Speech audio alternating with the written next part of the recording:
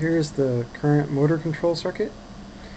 This is the Pololu speed controller, the main microcontroller with a, a serial interface to my desktop computer. Here's the, the motor with the encoder connected, and the wheel with the custom hubs.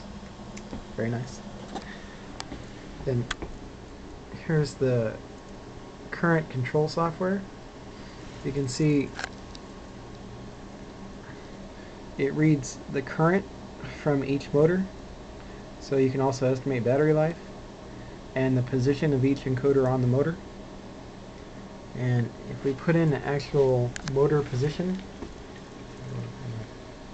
256 and we hit run it's going to move the motor on the screen.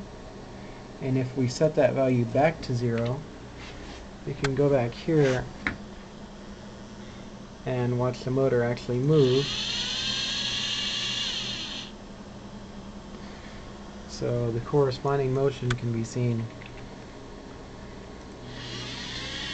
Between the two